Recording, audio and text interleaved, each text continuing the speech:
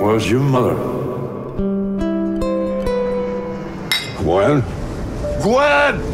I said! This is a plane. Mom's not here. Stop looking at me.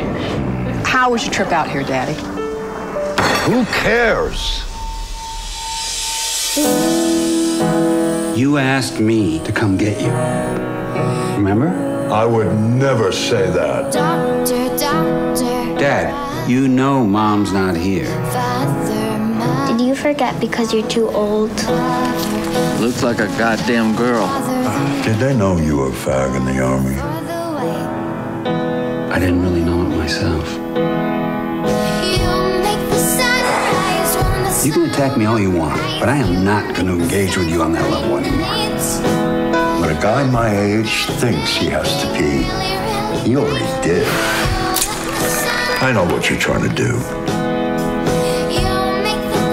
You are such an asshole. And you're a fucking pansy.